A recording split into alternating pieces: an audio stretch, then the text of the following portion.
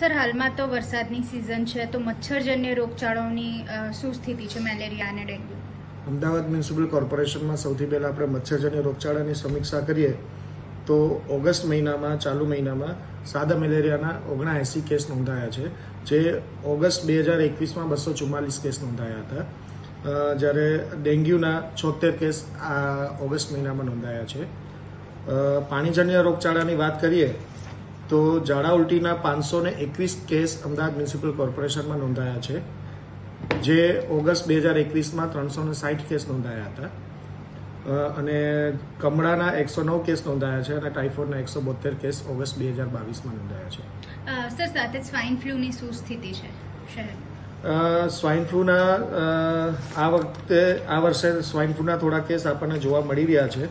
Ahmedabad municipal કોર્પોરેશનમાં August મહિનામાં ચાલુ મહિનામાં ત્રણસો ને છત્રીસ કેસ નોંધાયા છે.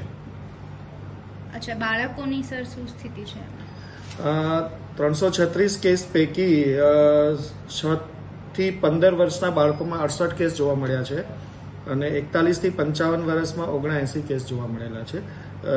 સોળથી ચાલીસ વર્ષની ઉંમરમાં ચોર્યાસી કેસ સ્વાઇન ફ્લૂના જોવા મળ્યા છે. સ્વાઇન ફ્લૂના કેસમાં આખા અમદાવાદમાં ફેલાયેલા છે. કોઈ ફોકલ આઉટબ્રેક કે ફોકલ પોઈન્ટ સ્વાઇન ફ્લૂના કેસોમાં નોંધાયેલો નથી.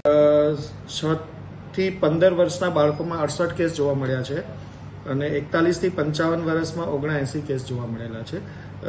સોળથી ચાલીસ વર્ષની ઉંમરમાં ચોર્યાસી કેસ સ્વાઇન ફ્લૂના જોવા મળ્યા છે.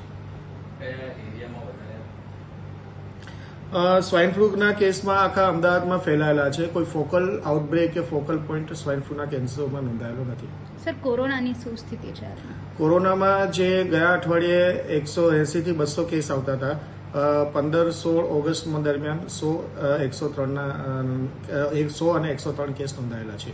જેમાં પાંચ ટકા હોસ્પિટલ એડમિશન થયેલા છે. કુલ અત્યારે બારસો ને ચોર્યાસી કેસ સારવાર હેઠળ છે. જેમાં અડસઠ હોસ્પિટલમાં છે અને બાકીના કેસ ઘરે હોમ આઇસોલેશનમાં છે.